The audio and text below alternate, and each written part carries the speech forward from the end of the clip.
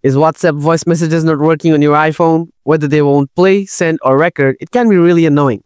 But don't worry, in this video, I'll walk you through how to fix the WhatsApp voice message issue on your iPhone. So let's dive right in. Before doing anything else, make sure your phone's volume is turned up and not muted.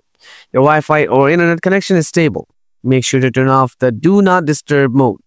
After trying these basic settings, now try the advanced solutions. Solution 1. Check hardware issue. Open up the App Store. Tap search icon. Type check my device on the search bar. Tap install icon.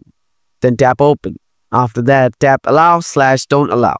Scroll down. Now tap microphone test. Tap on the screen. Now tap on the record icon and try to record your voice. Then tap on the save icon to save your voice. Now tap on the play icon to check. If it plays your voice, then there is no problem with your hardware. But if it's not working, that means there is a hardware issue. Solution 2. Check microphone permission. Open up the Settings app. Then scroll down a little bit. After that, tap on the Privacy and Security option. Now scroll down again.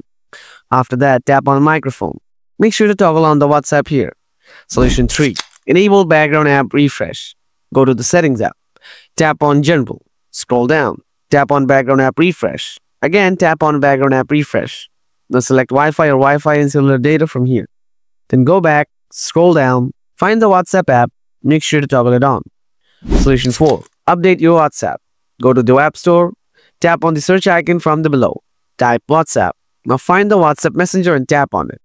If you see update option available there, then update the app.